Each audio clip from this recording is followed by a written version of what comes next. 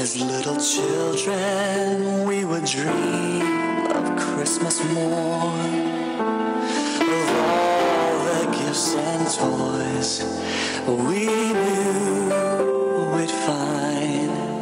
But we never realized a baby born one blessed night gave us the greatest gift.